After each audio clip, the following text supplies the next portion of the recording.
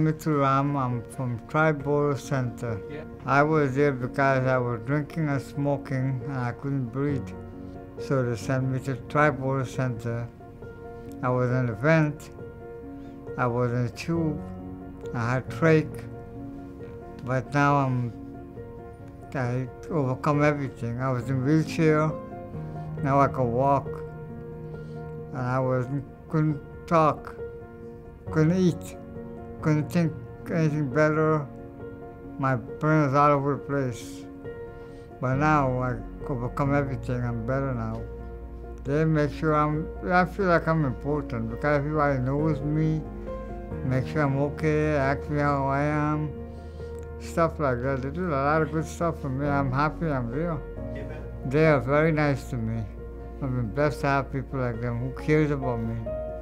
They talk to me. They help me out. They give me stuff.